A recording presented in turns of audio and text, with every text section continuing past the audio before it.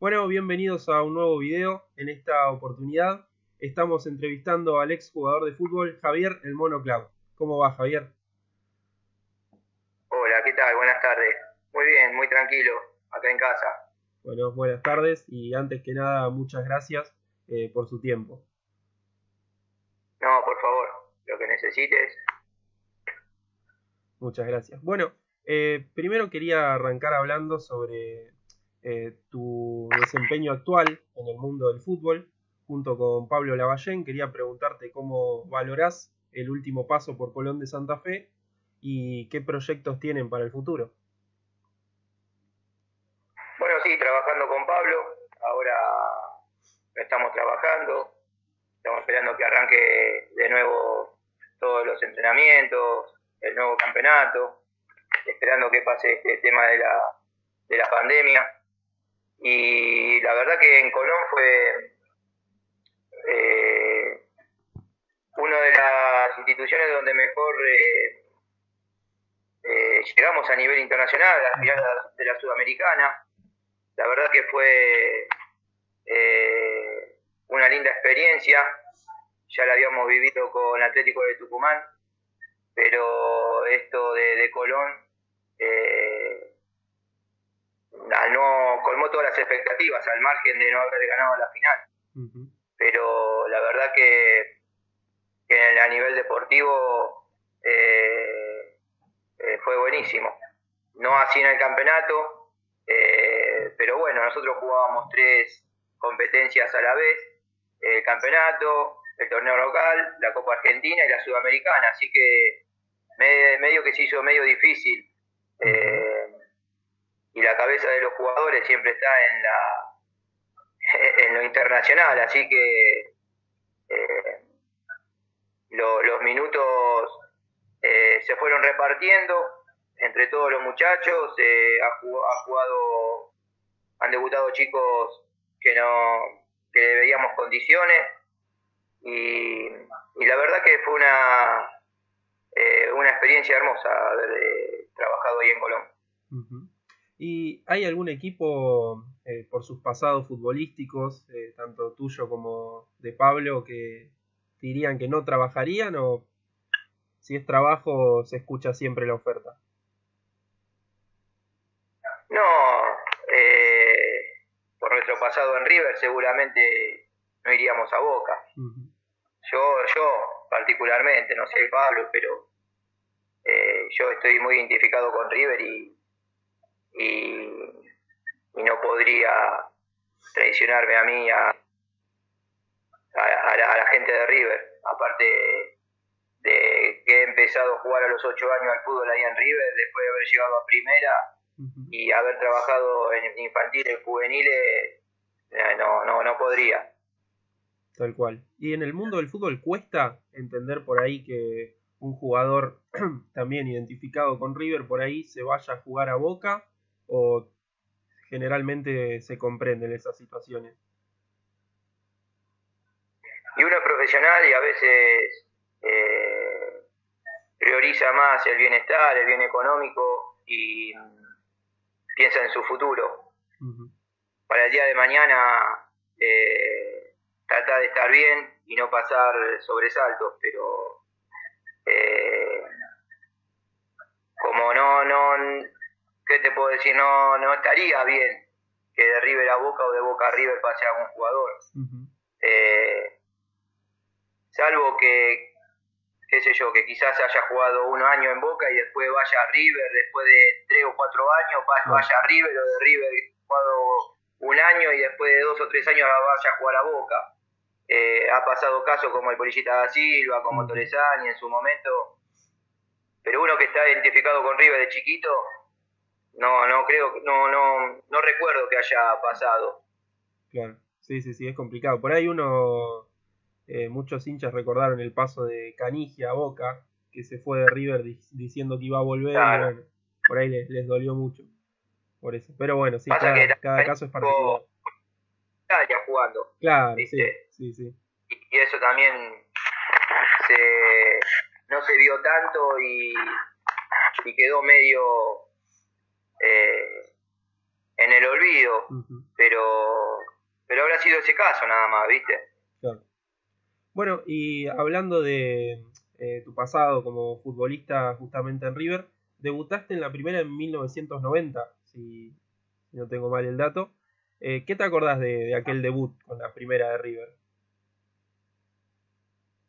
Sí, eh, el 2 de septiembre de 1990, tenía 20 años y mm, me acuerdo que River estaba jugando la Copa Libertadores, creo que estaba jugando las semifinales con el Barcelona de Ecuador y en ese momento el técnico era Daniel Pasarela y había hecho un equipo mixto y bueno, éramos cuatro o cinco chicos de, que estábamos en reserva y, que nos tocó jugar ahí contra Talleres de Córdoba, fue el partido, un domingo eh, en, el, en el Mario Kempes, eh, antes se llamaba el Chateau. Y bueno, eh, tuve la suerte y el sueño de, haber cumplido, de, haber jugado en la primera de River. Fue una alegría enorme. como te dije, he había cumplido el sueño de mi vida, de estar de chiquito y jugar River, aparte de ser hincha.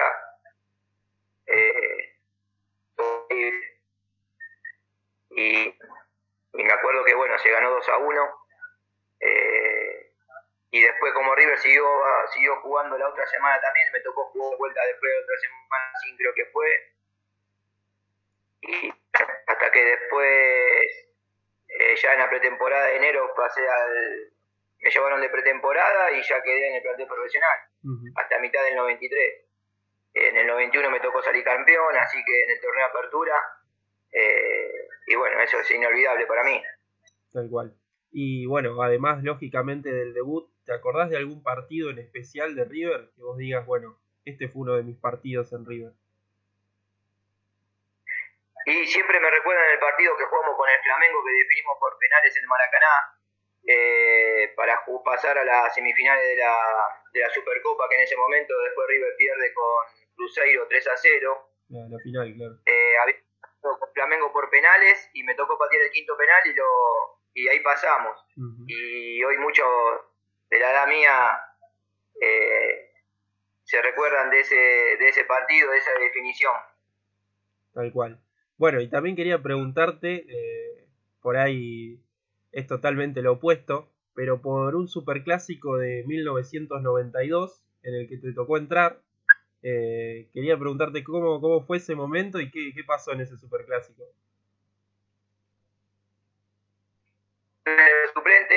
Y perdíamos 1 a 0 el primer tiempo y, me toca entrar creo que a los 10, 15 minutos del segundo tiempo. Eh, justo en ese momento agarro la pelota, se la doy a Ortega, penal. Penal para River, patea Hernandía, lo ataja Navarro Montoya. De esa jugada se va al lateral, lateral para River y la agarra el chino Tapia, creo que era, y como para hacer tiempo no la daba la pelota, como que él iba a sacar y era para tirar para arriba. Entonces vengo yo a la carrera y le meto un planchazo, saco la, le saco la pelota y saco el lateral.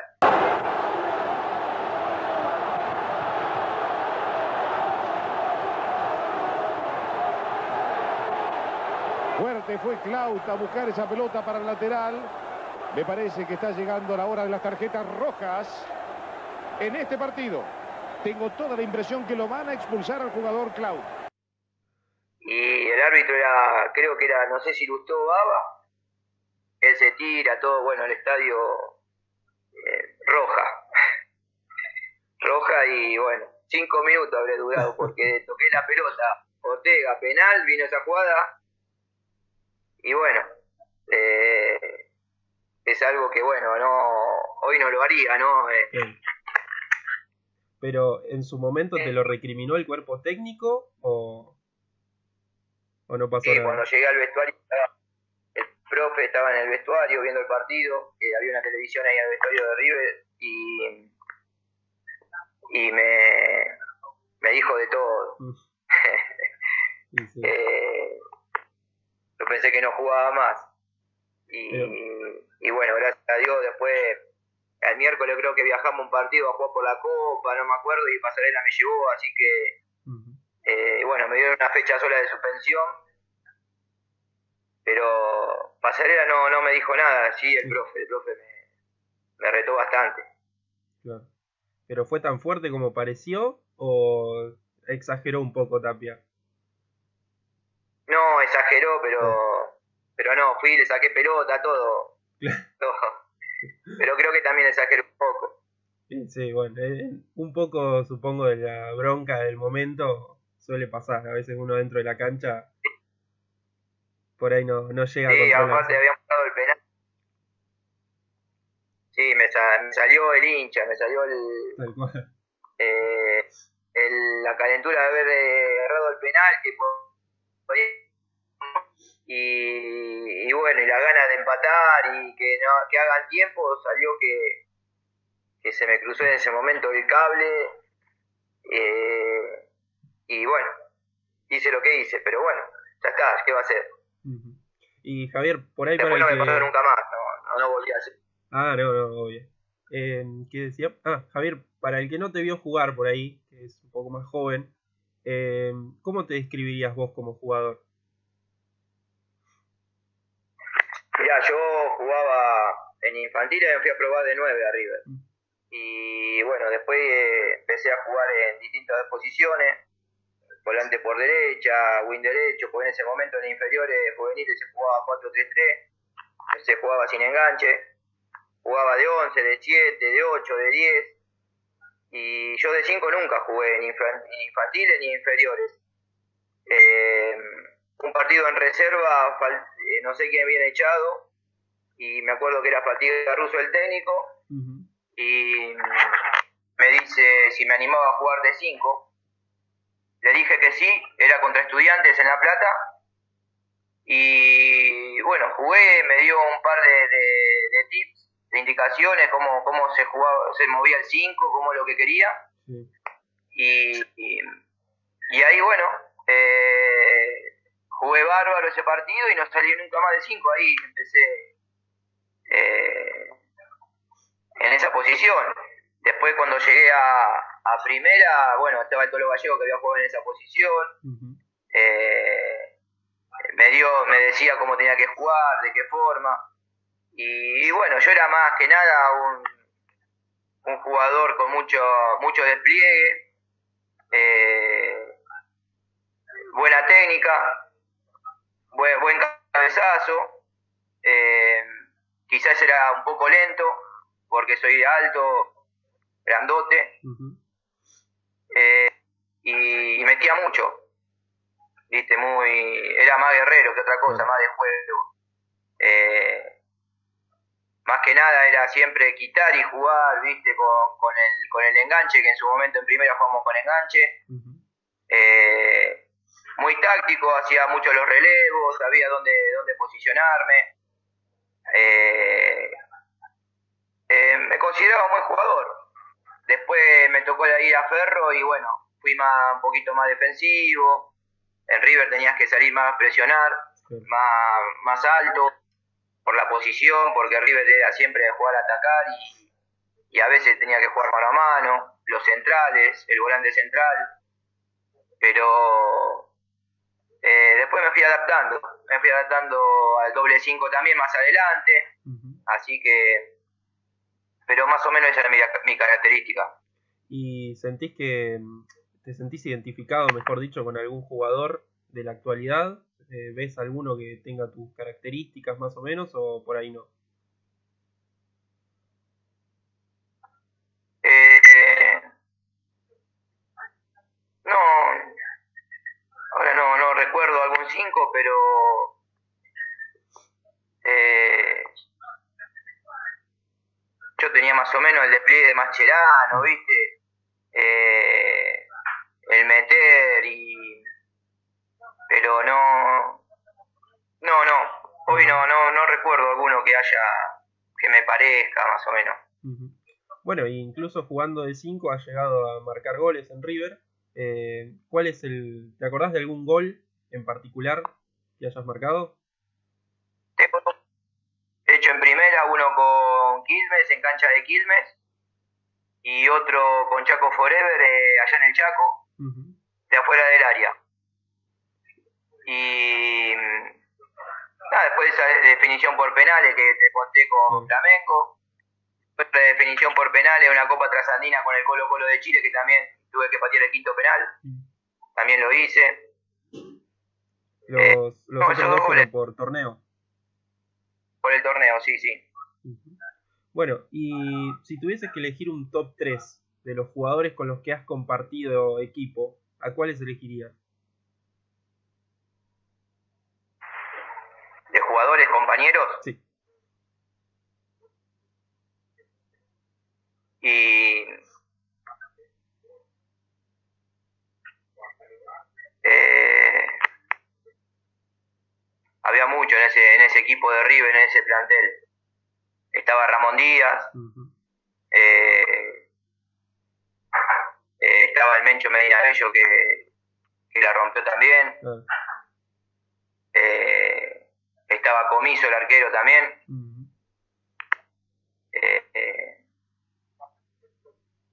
la verdad que, bueno, Leo Astrada, que era ah, el que, que yo que, jugaba él y yo trataba de, que competía el puesto. Después vino Almeida. Pero más o menos. Por ahí. Por ahí va la cosa. Tal cual. Y ya después, eh, retirado como hincha, eh, ¿vivías los partidos de otra manera desde afuera? Eh, por ejemplo, ¿viste la, la final en Madrid? ¿Cómo viviste eso? ¿O por ahí ya trabajando de cuerpo técnico estás un poco alejado de eso? cuando dejé el fútbol, empecé de River y jugué con Enzo, que era mi ídolo, Francescoli. Mi ídolo de, que, de chico. Desde que empezó a jugar en River eh, lo vi jugar y me encantó, y mi ídolo. Y después tuve la suerte de jugar ahí en el diseño. Eh, cuando jugaba al fútbol, eh, que me fui de River, después el, el fanatismo uno lo deja de lado porque yo lo, considero un trabajo el fútbol. Eh, y después cuando dejé el fútbol, sí, volví a ir a la cancha, mm. empecé a trabajar en River y, y bueno, como que, estaba de nuevo en el, en el que si perdía no me gustaba, que disfrutar los triunfos, cantar y todas esas cosas, sí, lo hacía. Eh, y bueno, después cuando me tocó dirigir, eh, ser el ayudante de Pablo, sabía cómo veía los partidos de River. El día que jugó la final en Madrid estábamos en Santa Fe y lo vimos juntos también y, y gritado, yo lo, he gritado los goles, he festejado, pero siempre tratando de estar, eh, eso en la intimidad, pero siempre en donde me tocó, siempre perfil bajo, no tratar de que, por respeto al club que estaba, eh, no hablar de River ni, de nada, ¿no? Sí, sí, manteniendo siempre la profesionalidad, digamos. Exactamente.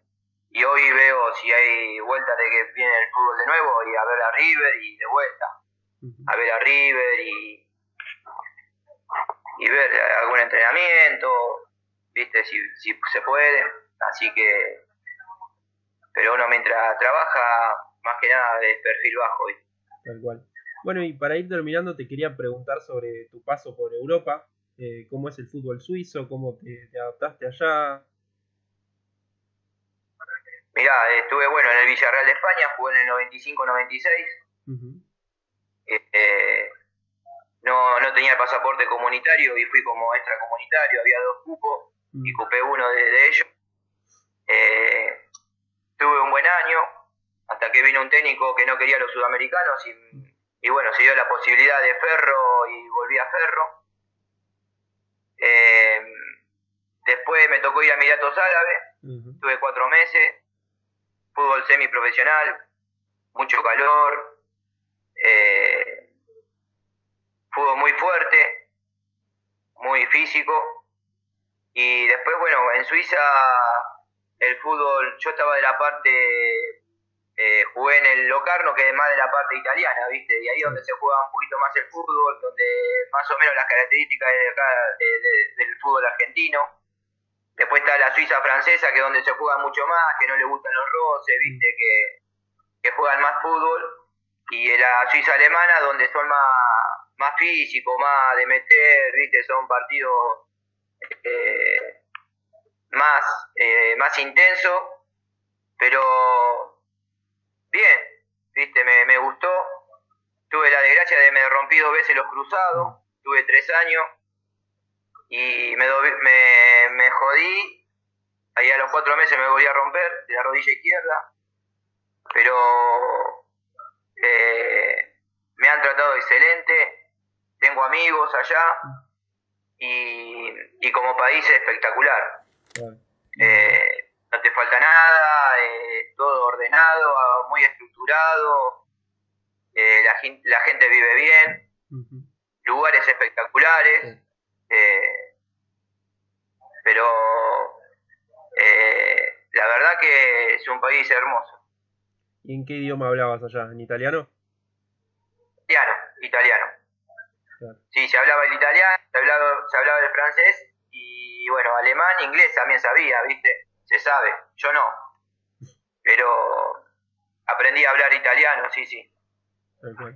Bueno, Javier, y la última que quería preguntarte es si recordás algún partido en especial del fútbol senior de River, alguno que te haya quedado marcado.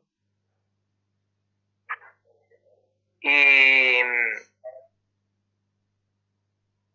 esos clásicos que jugamos con Argentino Junior, que Argentino Junior jugaba bien, eh, teníamos, jugaba Redondo, el Pipa Gancedo, Faciuto, y nosotros también teníamos un buen equipo, y bueno, contra Argentino eran los, partidos lindos que, jugábamos, que se jugaba el fútbol. Eh, ¿Volverías a jugar el fútbol señor de River si, si vuelve toda la normalidad, digamos? O... Estoy jugando, pasó todo esto, estaba jugando de nuevo. Cuando volví de Santa Fe, eh, dejé pasar un mes y volví a jugar. Ah. Y bueno, justo nos agarró la pandemia y bueno, tuvimos que, encerrarnos. Así que cuando aparezca que pase todo esto, si no hay trabajo, seguiré jugando. Sí, sí. Perfecto. Bueno, Javier, te agradezco mucho por tu tiempo. La verdad, un placer eh, haber hecho esta entrevista con vos. Bueno, no, muchas gracias a vos. Te mando un abrazo. Muchas gracias. Un abrazo grande. muchas gracias, ¿eh? Chao, chao. Abrazo. Chao, chao. Muchas gracias por ver el video. No te olvides de dejar tu like y de suscribirte al canal. Hasta la próxima.